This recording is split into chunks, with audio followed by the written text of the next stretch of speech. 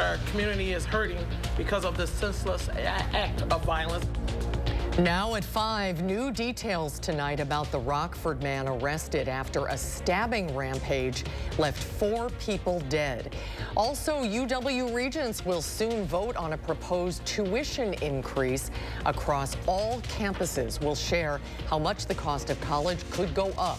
And from rescue to recovery, and now a salvage operation, how investigators are transitioning their efforts after the collapse of the Francis Scott Key Bridge. You're watching News 3 Now at 5. We're continuing our breaking news coverage tonight from Rockford, Illinois, where four people were killed yesterday in stabbing attacks on the city's southeast side. In addition to the four dead, authorities say five others were injured in the attack. The four people killed have been identified tonight. They are 63-year-old Ramona Schupbach, 23-year-old Jacob Schupbach, 49-year-old Jay Larson, and 15-year-old Jenna Newcomb. Authorities arrested 22-year-old Christian Soto, a Rockford resident. He has been charged with several counts of murder and attempted murder. The Rockford community remains stunned over these deadly stabbings as investigators try to figure out the motive behind the attack. Our Braden Ross is live across state lines tonight. She was at tonight's news conference with Rockford Police. Braden, what is the latest you can share? Yeah, that's right, Susan. I would say stunned is absolutely the right word. We've spent a few hours in this neighborhood here where this took place. It's very quiet. A lot of families we've seen walking around. Really, people just shocked by what happened here and what unfolded. I'm going to step out of the way. You can see behind me. These are a few of those crosses that people, the neighborhood have, has set up to honor those victims, for victims again. Now, we learned many more details today about just how this attack unfolded yesterday afternoon. Police say this all started at a house where a friend of Soto lived here in Rockford. In an interview with police last night, Soto said he was at this friend's house to smoke weed, which he thinks was laced with another drug that made him paranoid. He told police he grabbed a knife from the kitchen, which he used to kill 23-year-old Jacob Schupbach and 63-year-old Ramona Schupbach. His rampage continued after he left the house, attacking and killing a mail carrier and breaking into multiple homes. It's in one of those houses police say Soto attacked three teenage girls with a bat, beating one of them, 15-year-old Jenna Newcomb, to death. When you think about these four, they were doing what we all do. What you should all be doing. It's spring break. You have three girls watching a movie?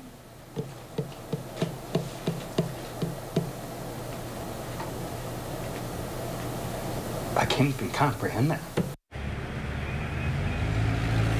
Now, five other people were also injured in this attack. One person, a bystander who stepped in as Soto was attacking another woman, is still in the hospital today in stable condition. Now, Soto appeared in court a little over two, three hours ago now. Several family, several family members and some of the victims themselves were sitting in that courtroom. You could still see them visibly have injuries. Now, we are bond has not yet been set in this case. Soto is expected back in court early next week. We'll keep you updated as we learn more in this case. For now, reporting in Rockford, Braden Ross, News 3 Now. Braden, thank you. The stabbings are getting the attention of President Biden. This afternoon, he put out a statement reading in part, Jill and I were horrified to learn of the brutal attack carried out in Rockford last night, which took the lives of four people. We are praying for the families of those who lost loved ones and hoping that all of those injured make a full recovery. And a reminder to catch up on the stories of the day at a time most convenient to you with our Channel 3000 mobile app. Don't forget to turn on push alerts so you never miss a breaking story. To weather now, it was great to see the sunshine today, but temperatures were still a little bit on the cooler side. There is another round of rain that uh, will be coming with the weekend and Easter weekend approaching. Let's get a look at your first warn forecast with Chief Meteorologist Alex Harrington. Alex? Hey there, Susan. Yeah, a bit chilly out there, but just a taste or a little bit more of this feel of spring on the patio. Less in the winds, the sun's out, the birds are all over. We've got the daffodils behind me and temperatures out there a little bit more mild or middle to upper 40s. Look at that 47 right now in Middleton. We've got a 47 in Boscobel, 48 now in Janesville. Average highs for this time of year, late March, are right around 50 degrees. We got a 45 up in the Dells right now. So not bad. It's certainly not bad compared to the 30s and the really chilly temperatures we had just these past two evenings. One more kind of cold night tonight, low to mid 20s. That's because we have clear skies, and that allows the heat to go out to space. And then warmer temperatures as we go on into your Friday. And Susan said showers. Yes, we do have showers in our forecast. The best chance in Madison for those showers are going to be between, let's say, 8 o'clock on your Friday night to midnight to the wee hours of your Saturday morning. That's the best chance of getting wet in Madison. And notice I'm emphasizing Madison. Not all of southern Wisconsin is going to see this particular rainfall event. I track who gets it and who doesn't coming up. All right, thank you, Alex. Next week, the UW Board of Regents will vote on a 3.75% tuition hike for all campuses made under the recommendation of System President Jay Rothman. The vote is scheduled for Thursday. If approved, it would be the second straight year of tuition increases after a 10-year freeze. In 2023, tuition went up 4.2% on average. In a statement, Rothman says our university universities are facing challenging economic realities, and students and parents should know that we plan to be good financial stewards. Investigators in Maryland continue to work to learn why a cargo ship lost power crashing into the Francis Scott Key Bridge early Tuesday morning before it collapsed. Six people are presumed dead. Two bodies have been recovered, but search efforts for the other four have been paused as attention attention turns to cleaning up the mess. Uh, Cole Higgins reports on what is now being called a salvage operation. We're now moving from a recovery mode to a salvage operation. Maryland State Police Colonel Roland Butler announcing Wednesday evening that recovery efforts for four people presumed dead after Baltimore's Francis Scott Key Bridge collapsed in the frigid Patapsco River are on hold. Because of the superstructure surrounding what we believe are the vehicles and the amount of concrete and debris, Divers are no longer able, able to safely navigate or operate around that. New traffic cam video shows what happened moments before that collapse. The data recorder was recovered from the ship Tuesday. National Transportation Safety Board investigators learning alarms went off 45 minutes after the ship left the terminal. The pilot sending a mayday call to shut down traffic. With dozens of ships headed toward the port now needing to be diverted, the focus is to rebuild.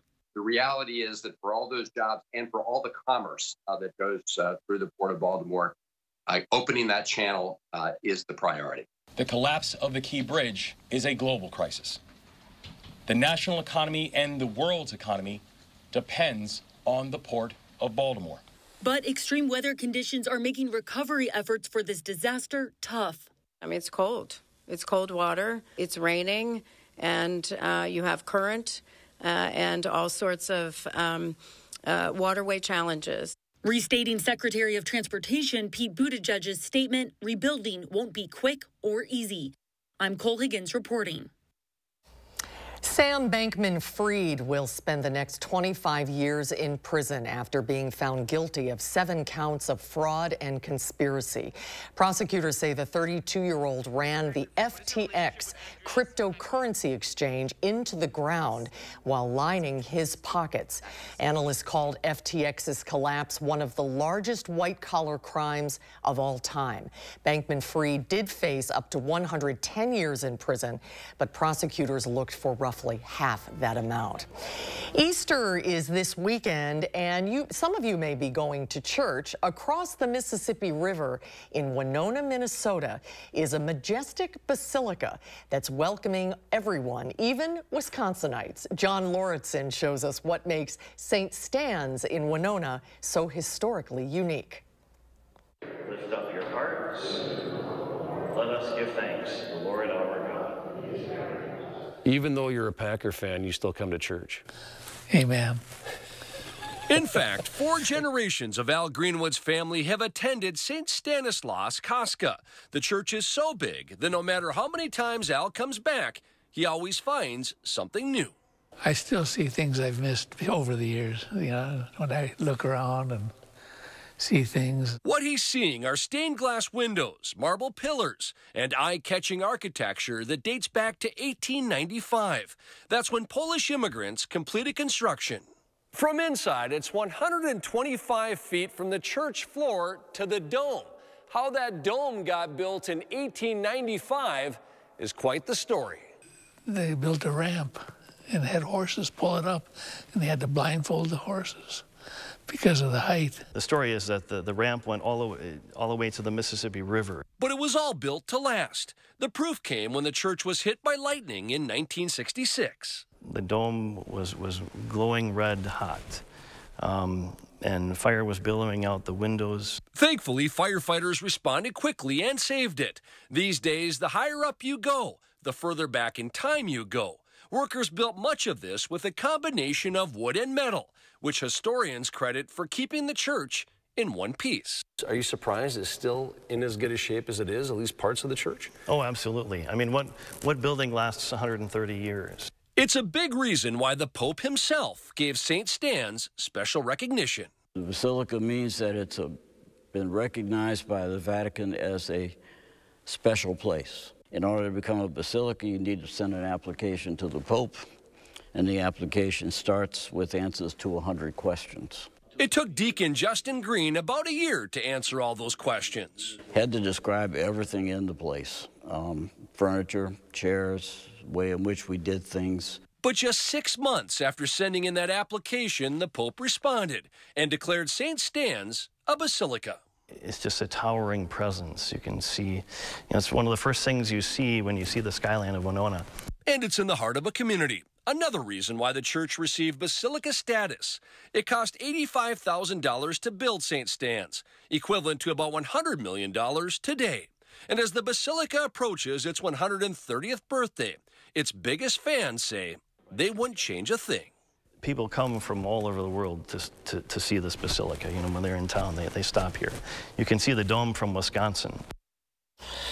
The church was named after a Polish saint from the 1500s who was known for his goodness, holiness, and devotion. Leaders say parts of the church are starting to show their age a little bit, and they hope to begin restorations soon. Ahead of Easter weekend, Pope Francis continued the papal tradition of washing feet in a ceremony today. This year was a first. He washed the feet of only women. He washed the feet of 12 women in a prison from his wheelchair. Over the years, Pope Francis has washed the feet of women and Muslims, but never exclusively women. The ceremony commemorates when Jesus Christ washed his disciples' feet the night before his crucifixion nearly 2,000 years ago. Well, Election Day is next week for Wisconsinites, and on your ballot are some important proposals that you'll want to know about before you head out to vote. Coming up, we'll share what's being asked in a pair of constitutional amendments.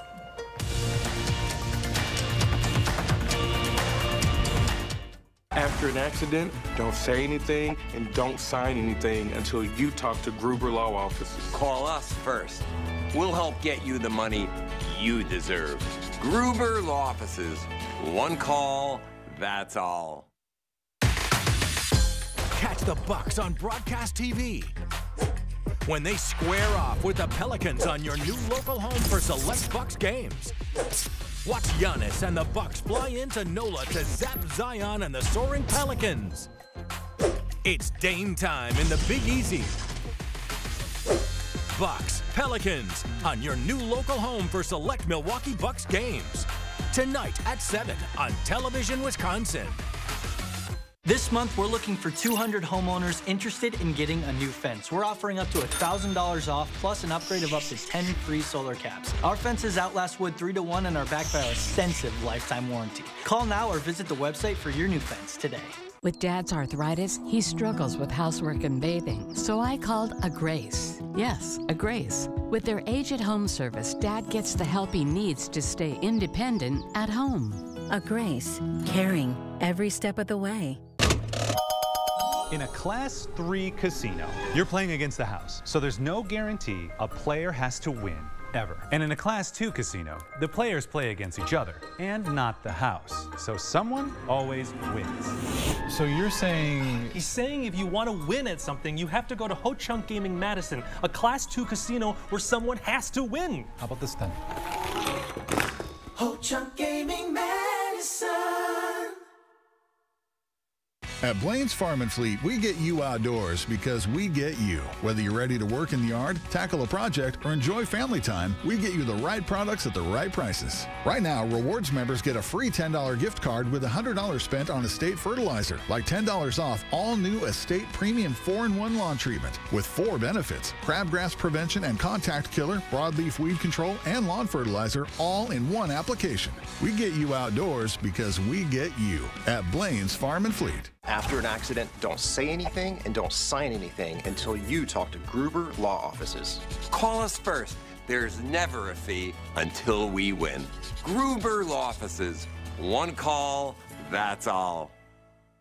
Jenna died saving her sister and her friend.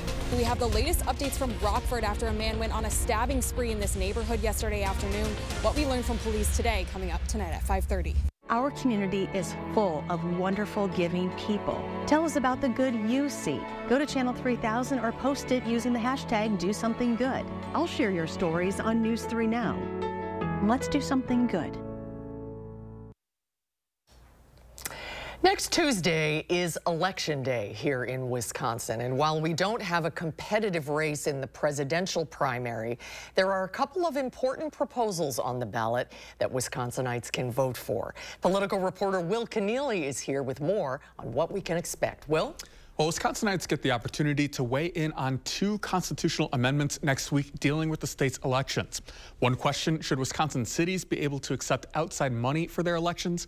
And should outside contractors be able to help cities run their elections? Now, this has been something that conservatives have been working on since 2020. They say some of that money went towards the state's largest cities, which lean Democratic. Here's Will Flanders with the Wisconsin Institute for Law and Liberty. It was still more in some of the largest communities in the state uh, than it was in the smaller ones. Um, you know, I think if you get to the very smallest cities, those $5,000 grants went a long way, but everywhere in between sort of received less money disproportionately uh, than those big five cities that got the most uh, most overall funding. Now, opponents of the amendment say that these could depress turnout, especially if the state doesn't help those cities pull off their elections. Now, this will be the last stop for those amendments. If voters approve them, they become the newest parts of the state's constitution. And we'll have more on this coming up tonight at 5.30. We will see you then, Will. Thank you. We all know the cost of living has spiked in recent years. That's just half the story. The whole story is worse because just living isn't the same as living comfortably, being able to afford basic pleasures and not living paycheck to paycheck. A new study from smartasset.com has determined the amount needed to live comfortably in 99 major U.S. cities. That number? A salary of $96,500, or roughly 235,000 for a family of four. Let's get a check on the weather now. With that sunshine, it did start to feel like spring outside. Feels like we're turning the corner. Yes, progress on the patio is what I like to say when I'm on the patio, Susan, those sorts of things occur. 40s today, not the 30s and that windy stuff. A little breezy, but better. Yes, better. One more cold night tonight. I promise a warmer Friday ahead. Those warmer temperatures ahead of this weather system will help bring a little bit of that fuel for shower activity on your Friday night. Let's plan the rest of your night tonight. 40s dipping down into the 30s. Clear skies. Gorgeous evening for a walk, bike ride, take the dog out.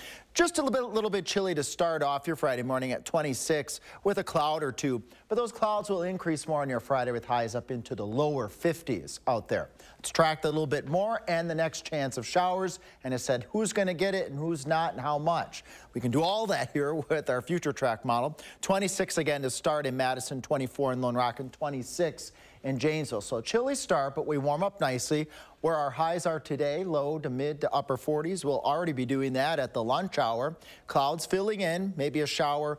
Platteville, Darlington, Monroe, and Janesville by 6 o'clock. The better chances of those showers, maybe a clap or two of thunder by the time we get towards midnight. Dells, Camp Douglas, Marquette, Green Lake counties, Madison, Monroe, Janesville, and points to the east. Notice how I'm kind of standing over southwest Wisconsin. Not a great chance right now as it looks like it appears this storm is going to get its act together over southern Wisconsin as opposed to to our west and that's why areas to the southwest not expecting to see much in the way of water and they need it because they were missed by this last weather system.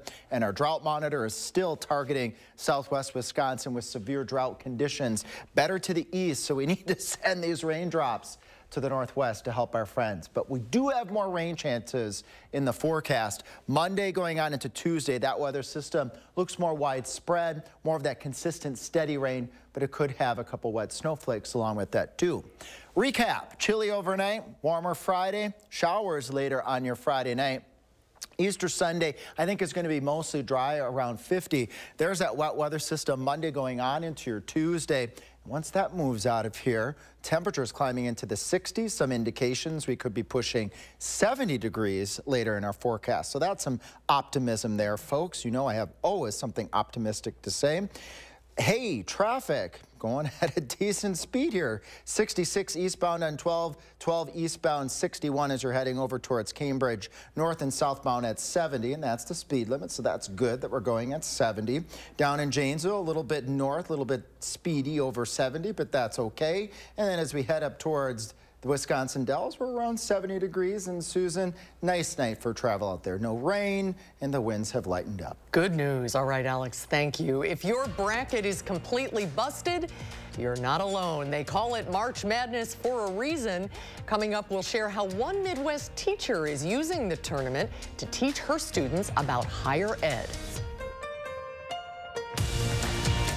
News 3 Now First Warn Weather is brought to you by La-Z-Boy Home Furnishings and Decor. Discover a shopping and design experience as comfortable as the furniture. La-Z-Boy Home Furnishings and Decor. Schedule your free design consultation today. Win a hand-pay jackpot at Ho Chunk Gaming Wisconsin Dells, and you'll have a chance to win a new Corvette and a shot at $100,000 in cash. It's the Mega Jackpot Winners Quarterly Drawings, going on now at Ho Chunk Gaming Wisconsin Dells. Save big money with these hot deals in Menards. All prices after 11% rebate. Colored wood mulch is 197. Get this folding sawhorse for only $9.99. Hop to big Easter savings. Easter lilies are just $5.99 each. Load up those Easter baskets with chalk or Bubbles solution, just 49 cents each. These hot deals won't last long. Hurry in before time runs out. Sign up for Menards emails to get more hot deals, plus the weekly flyer right to your inbox. Are record high energy costs putting a squeeze on your fixed or limited incomes? While you haven't asked for it, the Keep Wisconsin Warm Cool Fund and your local energy assistance providers are here to help. No Wisconsin resident should ever have to face the challenge of living without heat or power or face homelessness. For a hand up, apply today. We forge steel bars that hold up bridges, propel ships, and send rockets into space. But for years, China's been lowballing their prices, so it's been tough to compete. We can't let China steal Wisconsin jobs, so I wrote a law to require American infrastructure projects use American iron and steel. Tammy Baldwin got President Trump to sign her Made in America bill. And then she got President Biden to make it permanent. I'm Tammy Baldwin. I approve this message. Tammy Baldwin has our back. A hand-pay jackpot at Ho Chunk Gaming Wisconsin Dells, and you'll have a chance to win a new Corvette and a shot at $100,000 in cash. It's the Mega Jackpot Winners Quarterly Drawings, going on now at Ho Chunk Gaming Wisconsin Dells. You're watching News 3 Now at 5, moving forward. Well, get those brackets ready because tonight March Madness returns to WISC TV with two games on our networks. In Columbia County, Illinois, one teacher is using the tournament as a teaching opportunity. Amanda Brennan shows us how this educator is taking basketball beyond the bracket. You have to really look and pay attention because it can get kind of messy reading the bracket. This Neoga teacher is introducing her students to the world of bracketology. We'll just start with UConn and Stetson. Who did you pick to win that? UConn. UConn. Okay, so you can put a plus one. Amy Kep is bringing the competition right into her classroom, each grade making a bracket and earning a point for each win they predict correctly. They won pretty big, didn't they? Yes.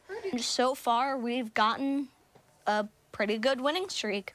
It's much bigger than just tallying up the wins and losses. That look how close that game was though, 100 to 102. I can throw in research, I can throw in math, I can throw in writing. I've researched um, Samford University, and I realized that they're the Bull Bulldogs, and they've actually been a university for a very long time. I did Dayton University and Texas A&M. Plus, they're learning there's more to college than simply picking a school. I've honestly been surprised on how much the out-of-state tuition is because that's a big number. Each aspect of the project is truly a slam dunk for KEP. They love to talk about basketball. They love to talk about what's in the news, and this is a great way to bring current events into the classroom. Um, it's very fun because it's just like different than what you're usually doing. Illinois and Morehead State. Yes. No matter what, they're making sure the friendly competition between grades never dies. Um, it's been really fun. It's been really tight, and it's been going off and on. So it could be anyone's game. I love that kid. That's how much fun. Here's a look at tonight's programming.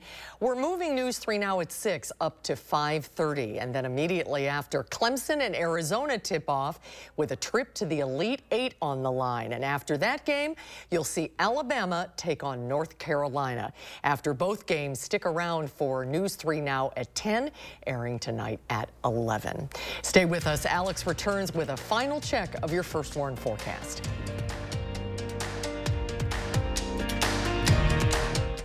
I'm Jonathan Lawson, here to tell you about life insurance through the Colonial Penn program.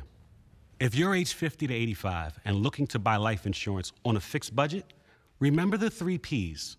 The three what? The three P's. What are the three P's? The three P's of life insurance on a fixed budget are price, price, and price. A price you can afford, a price that can't increase, and a price that fits your budget. I'm 54 and was a smoker, but quit. What's my price? You can get coverage for $9.95 a month. I'm 65, retired, and take medications. What's my price? Also $9.95 a month. I just turned 80 and I'm on a fixed income. What's my price? $9.95 a month for you too. If you're age 50 to 85, call now about the number one most popular whole life insurance plan available through the Colonial Penn program. Options start at $9.95 a month. That's less than 35 cents a day. You cannot be turned down because of your health. No medical exam, no health questions. Your acceptance is guaranteed. And this plan has a guaranteed lifetime rate lock, so your rate can never go up for any reason. Options start at $9.95 a month. Plus, you get a 30 day money back guarantee. So call now for free information, and you'll also get this free beneficiary planner. Use this valuable guide to record your important information and give helpful direction to your loved ones with your final wishes. And it's yours free, just for calling. So call now for free information. Call 1 800 914 3131 for your free information and your free gift. That's 1 800 914 3131. There's no risk or obligation. 1 800 914 3131. Call now. Okay, everybody, help us decide. Is this real or not? 7-Eleven has announced a new collection of sparkling waters, and one of them will be hot dog flavored. The Big Bite Hot Dog Sparkling Water combines the taste of the iconic hot dog into one refreshing beverage, ketchup and mustard included. Okay, now here's where it gets suspicious. We're told more details on the availability of the Big Bite hot dog flavor will be revealed next Monday. You know what next Monday is, Alex, don't you? April Fool's That's right. It's April 1st. That can't be real. It's too bad we don't have our friend Gary Cannalte here right now because Yes, he loves his Chicago hot And dog. he's a hot dog connoisseur. That's true. And I would be curious to what Gary would have to say about that. But Gary says, well, Alex, let's talk about the weather here. He's sitting on my shoulder. 26 for a low temperature to start off your Friday morning. So chilly, but we will warm up into the lower 50s as we go on into the middle of your Friday. There we go. And then the shower chance that I've been tracking. Not everyone's going to see those showers. Unfortunately, Susan, areas over southwest Wisconsin might get missed. But keep tuning in. Hopefully we can increase those drops. Okay, thank you, Alex. Charlotte Deleste is standing by. News 3 Now at 6 airs immediately following this broadcast. Enjoy the basketball tonight, everybody.